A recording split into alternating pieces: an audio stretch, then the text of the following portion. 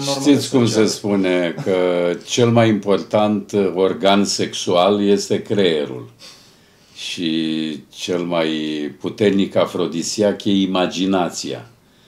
Cum imaginația este nelimitată, ă, atunci și acțiunile noastre sexuale ă, începute în creier și continuate în alte organe ă, sexuale ale corpului, devin și ele infinite prin rularea uh, fanteziei.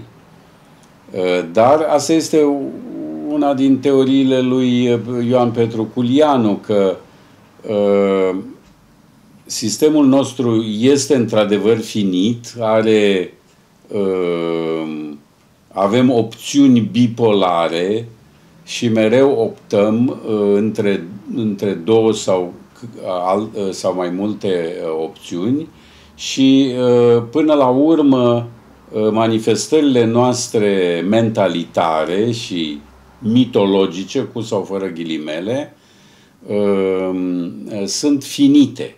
Și de aici ar rezulta asemănările formidabile în culturi diferite, în spații diferite, în epoci diferite și așa mai departe de fapt, sexualitatea în natură este și mai finită decât este sexualitatea umană. Uh, sexualitatea în lumea animală, în lume vorbesc, excluzându-i deocamdată pe oameni, este un instinct aproape mecanic, aproape tehnic. Uh, este un instinct al reproducerii speciei.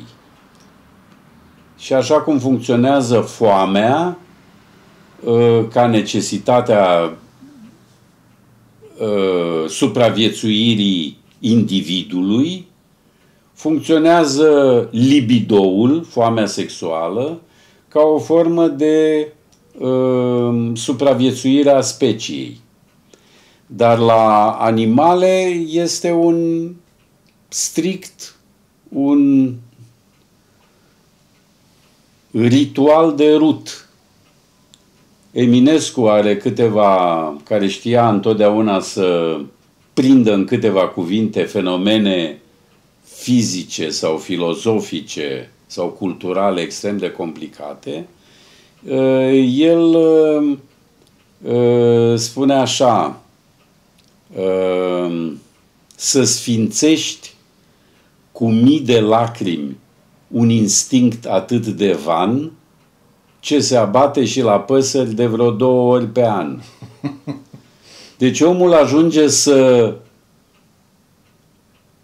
amplifice nemăsurat de mult problema sexuală, un, care e de fapt un instinct van la păsări, de vreo două ori pe an.